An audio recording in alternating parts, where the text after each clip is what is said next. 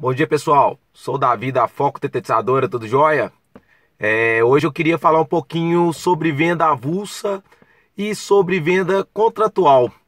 Primeiro queria explicar que todo cliente é um possível contrato, ou seja, aquele, aquela pequena indústria que compra de você de seis em seis meses, três em três meses, é, aquela escola que compra uma, duas vezes ao ano, ela é um possível contrato.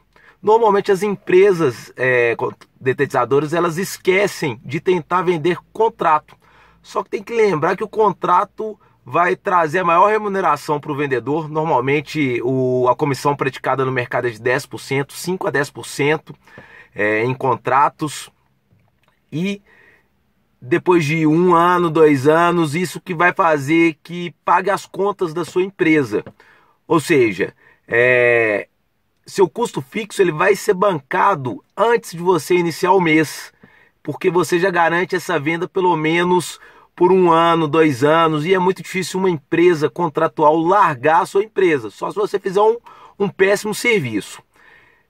Primeiro, quais são os setores que preferem é, fazer esse contrato? Restaurantes, bares, lanchonetes, setor alimentício, hospitais, clínicas, times de futebol, é, entre outros. É, qualquer empresa que tem uma movimentação muito grande de alimentos e uma movimentação muito grande de pessoas, ela vai procurar uma empresa contratual. Até porque na RDC 52 ela fala que minimamente tem que ter um controle periódico é, integrado de pragas. É, ou seja, um contrato mínimo mensal.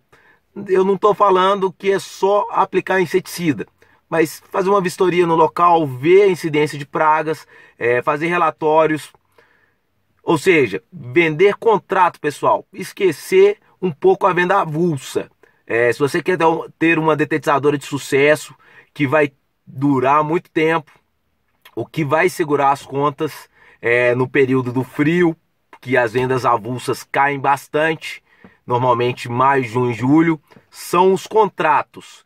É, o contrato não, não vai deixar a sua empresa passar por perrengue.